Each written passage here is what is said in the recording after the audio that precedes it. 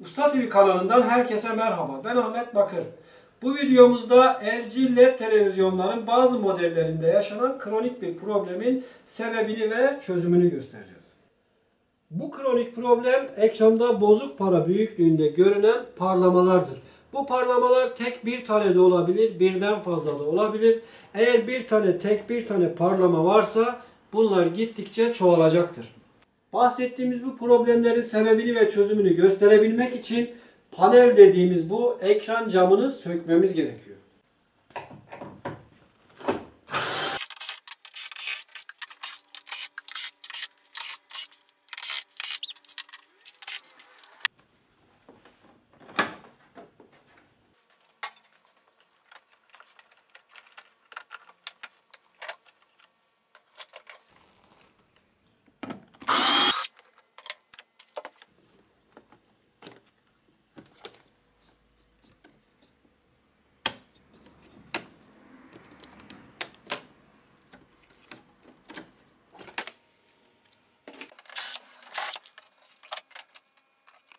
Bir de güvenlik uyarılarında bulunmak istiyorum. Bu uyarılardan birisi sizin güvenliğiniz için. Power kart denilen Türkçesi güç kartı ya da besleme kartı denilen bu karta dokunmamanız gerekiyor. Bu kart üzerinde elektrik enerjisi kalmış olabilir ve bu elektrik enerjisi sizi çarpabilir. Diğer güvenlik uyarısı ise TV'niz için, televizyonunuzun paneli için şu görmüş olduğunuz flexi kartı sökerken kof denilen bu filmlerin yırtılmaması gerekiyor. Bu filmler yırtar ya da koparsa televizyonunuz çöp olabilir. Ve bir de biraz önce gösterdiğimiz panel denilen bu ekran camı kırılırsa eğer yine televizyonunuz çöp olabilir. İşte bu yüzden televizyonunuzun ekranını sökerken panele çok dikkat etmeniz gerekiyor. Biraz önce de dediğim gibi power karta da dokunmamaya dikkat etmeniz gerekiyor.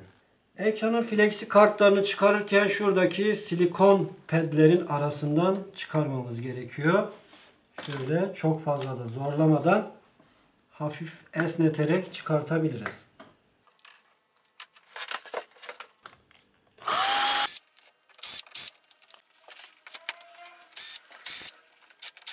Kenarlardaki bütün vidaları söktükten sonra şöyle görmüş olduğunuz gibi şu tırnakları biraz esneterek tornavidayla da esnetebilirsiniz. Parmağınızla da esnetebilirsiniz.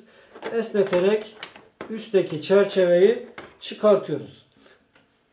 Muhtemelen bu işi amatör olarak yapacağınız için vantuzunuz falan bulunmayacaktır ve bu yüzden mutlaka eldiven kullanmanızı öneririm.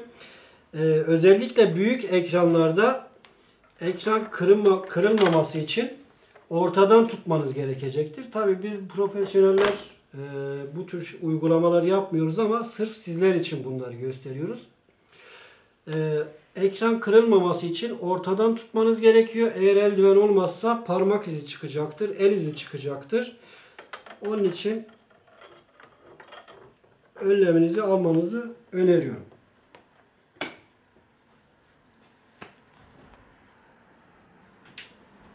Paneli güvenli bir şekilde kaldırdıktan sonra ikinci çerçeveyi sökmemiz gerekiyor. İkinci çerçevede vida yok. Tabi bu marka modele göre belki değişebilir. Bu modellerde yok. Şu görmüş olduğunuz tırnakları kaldırmanız gerekiyor. Esneterek çıkartabilirsiniz. Ee, biraz sert olacağından dolayı tornavida yardımıyla çıkartabilirsiniz. Şöyle.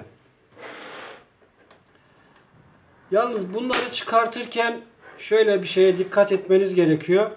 Bir kenarı çıkardıktan sonra diğer kenara geçerken tekrar eski haline gelebilir. Ona da dikkat etmek gerekiyor.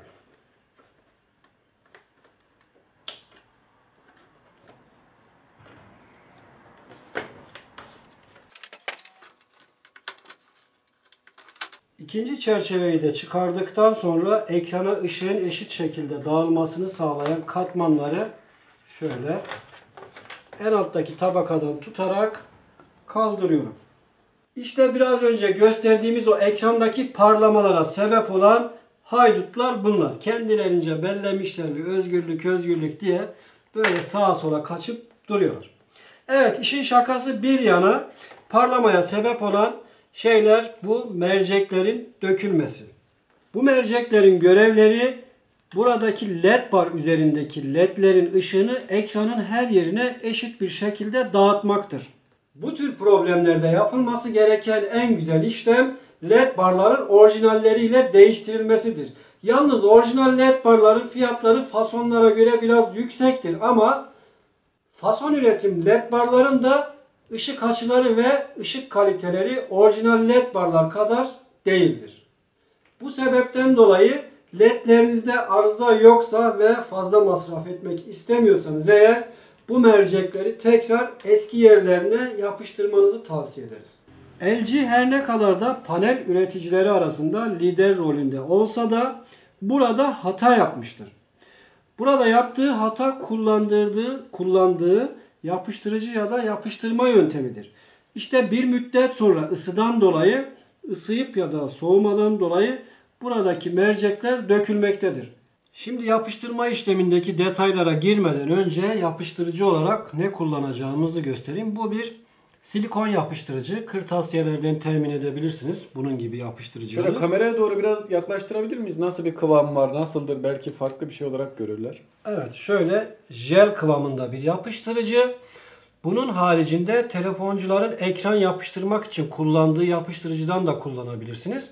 Önemli olan kullanacağınız yapıştırıcının esnek ve sağlam bir de şeffaf olmasıdır. Solvent bazlı yapıştırıcı dediğimiz e, esnek yapıştırıcılardan kullanabiliriz. Peki Ahmet abi bu e, cep telefoncuların ekran yapıştırmak için kullandığı UV yapıştırıcılar var. Ultraviyole yapıştırıcı. Onlar olur mu? Olur tabii ki hem de çok güzel olur ama maliyetli olduğu için ya da herkes ulaşamayabilir diye e, bunları gösteriyorum. Peki bir şey daha sorabilir miyim? Buyurun. E, peki Japon yapıştırıcısı olur mu? Veya o aktivatörlü pıs pıslı yapıştırıcılar? Bir daha duymayayım ağzına biber söyleyeyim. Yani bu işlerde kesinlikle Japon yapıştırıcısı kullanılmaz. Kesinlikle tavsiye etmiyorum çünkü sıcağa soğuğa dayanıklı bir yapıştırıcı değildir. Ee, ısınıp soğuduğu zaman düşecektir. LG'nin düştüğü hataya siz de düşmeyin. Merceğin kenarlarında beyazlık yapacağı için ışığı farklı bir şekilde yansıtabilir. Evet şimdi dikkat etmemiz gereken noktaları göstereceğim. Dikkat etmemiz gereken noktalar şu görmüş olduğunuz 3 tane siyah nokta ya da kahverengi de olabiliyor. Ve bu 3 noktanın aynı karşılığı merceğin üzerinde de var. Şu an görünüyor mu sevgili kameramanımız? İyice kameraman bilmem ne diye havaya girdi. Ahmet abi bir sen varsın bir ben varım. Nedir yani? Çaktırma. Şöyle tutmaya çalışayım da. Yani şeffaf olduğu için e, kamerada göstermek çok zor olacak. Evet şu görmüş olduğunuz 3 noktayı buraya denk getirmeniz lazım. Burası zaten e, merceğin önceden yapışık olduğu yerler. Bu üç nokta tam olarak yerine oturduğu zaman merceğin ledden mesafesi, yüksekliği hem de merceğin odak noktası lede tam olarak hizalanmış olacaktır. Peki Ahmet abi dengeli yapıştıramazsak ya da farklı şekilde eğri yapıştırırsak ne olur? O zaman da şöyle bir problem ortaya çıkıyor. Bu merceğin olduğu yerde ekranı kapattığınız zaman kapattığınız ekranı, televizyonu açtınız. Açtığınızda halka şeklinde ya da hilal şeklinde parlamalar göreceksiniz. Evet şimdi yapıştırıcının nasıl uygulandığını göstereyim. Yine önemli noktalara değineceğim. Ee, yapıştıracağımız noktaya damlatıyoruz sadece. Burada dikkat etmemiz gereken kesinlikle ledin üzerine yapıştırıcı bulaştırmamamızdır. Ee, fazla yapıştırıcı merceğe bulaşacaktır. Fazla fazla yapıştırıcı sürmenize gerek yok. Hani merceğin dışına, dışına biraz taşabilir ama e, led'e doğru kesinlikle yapıştırmanızı önermiyorum. Zaten bu yerine oturduğu zaman yapıştırdığınızda 3 nokta yerine denk geldiğinde şöyle parmağınızla oynatmaya çalıştığınız e, çalıştığınızda kesinlikle hareket etmeyecektir. Şöyle çevirmeye çalışıyorum.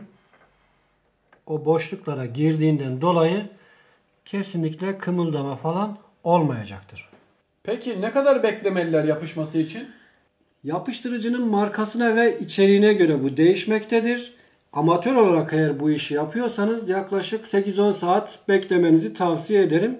Ee, biz bu tür işlerde ultraviyole yapıştırıcı kullandığımız için 8-10 saniyede işi hallediyoruz zaten. bu tür olaylarda genelde yani bir mercek dökülse bile bütün mercekleri söküp yeniden yapıştırıyorum. Şu anda yaptığım gibi. Tabi onları göstermedim videoyu uzatmamak için. Ama işlem bittikten sonra da kontrolümüzü yapmamız gerekiyor. Yani ekranı söküp takmak biraz daha zor olduğu için, zaman aldığı için e, ekranı kapatmadan önce üzerindeki bu beyaz yansıtıcıları, reflektörleri kapatıp geçici olarak enerji vermemiz gerekiyor. Eğer üzerindeki kartları, power kartı ya da besleme kartını, anakartı sökmediyseniz fişi taktığınızda çalışacaktır. Ama ben geçici olarak bizim LED test cihazımızla enerji veriyorum ve herhangi bir yerde hata var mı yok mu göreceğiz şimdi. Jimmy Cipçi arkadaşlar rica ediyorum. Şöyle şurayı çekelim. Bak sen yine. Çaktırmayın.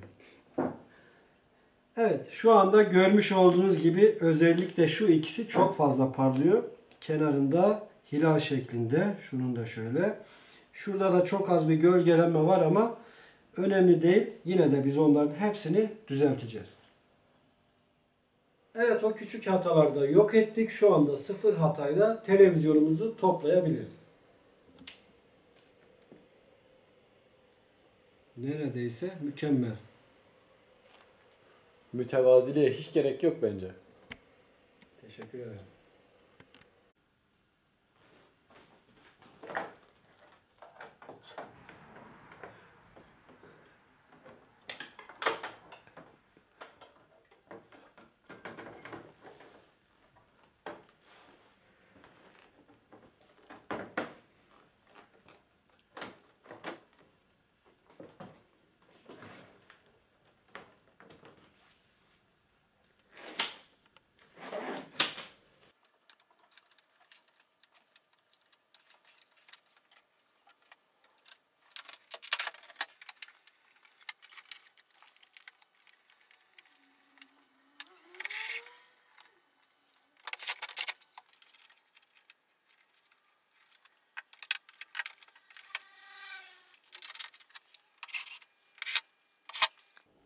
Evet, bir videomuzun daha sonuna geldik. Normalde TV tamiri yapmıyoruz. TV tamir işini bırakalı çok oldu ama siz değerli izleyicilerimize faydalı içerikler, faydalı videolar yapabilmek için bu TV'yi tamir ettik. Kanalımıza ücretsiz abone olarak ve videolarımızı beğenerek bize destek olabilirsiniz. Ayrıca abone ol butonu yanındaki zil ikonuna tıklayarak da yeni videolarımızdan haberdar olabilirsiniz. İzlediğiniz için teşekkürler. Teşekkürler.